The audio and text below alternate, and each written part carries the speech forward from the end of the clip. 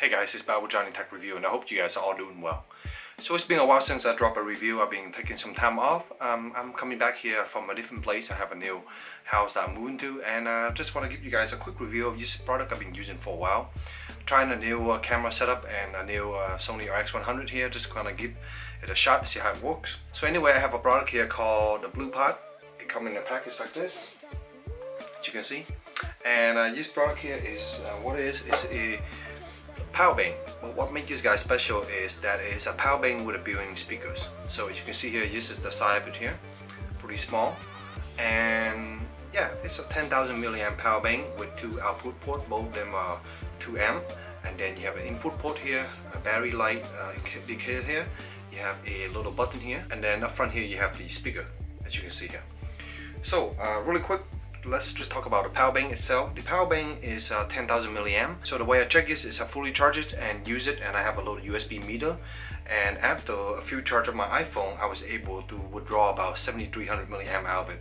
So you can say, you know, inputting 10,000 and you get 7300 milliamp. So give you an idea of how good this power bank is. I think that's pretty standard for most power bank around this uh, area. Between the charging and discharging um, efficiency, this is pretty good. So next I want to talk about the speakers. The speaker is pretty simple. It's one speaker here and it has two little kind of like uh, L port or subwoofer port kind of and uh, yeah the speaker sounds pretty decent. I'll leave a little sample video so you kind of get an idea.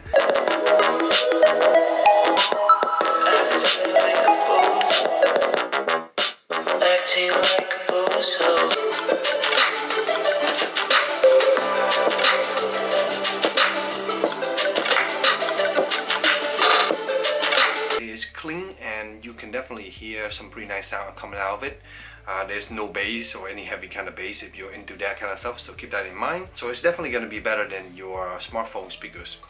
Uh, yeah, so overall, I'm pretty happy with it. I've been using this for about a month and a half now, I think, almost two months. And yeah, uh, you're getting pretty good 10 to 12 hour of playtime back on the speakers here. Uh, I didn't really keep track of it, but it was a long time. As far as the power bank, again, pretty decent. Overall, a really nice little product. Uh, other than that, it comes with a USB cable and a little user menu and nothing else. There's two things that are downsides that I want to point out to you guys. Number one, there's only the power button and the power button is used for also pairing all that stuff. You just have to hold down for a few seconds. There's no volume button, so you cannot physically control the volume from here. You have to do it from your phone. Not a big issue for some people, but for other it might be an issue. And then the other issues I have is with this charging port. This is the port to charge the battery itself and it's pretty slow. I kind of tested out and it took like almost like a whole night, like 10 hours to charge this whole battery, which is kind of slow. I do wish that they have quick charge on it. Um, hopefully the next version they release will have quick charge and that would be really nice. Other than that, just two little small issues though. So thank you again for Bluepot for reaching out to me for checking this out. Really appreciate you guys sending this unit out for me to review. It's an interesting little product and it works really well and I'm really happy uh, to give it a try. So if you guys are interested in checking this little product out, I'll leave a little um, link in the description box down below. And if you haven't subscribed to the channel please do that. And if you find this video useful please give it a like. Thank you. Have a good one